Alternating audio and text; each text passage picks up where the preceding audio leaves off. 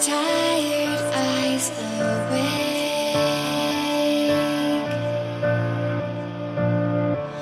It's easier to hide.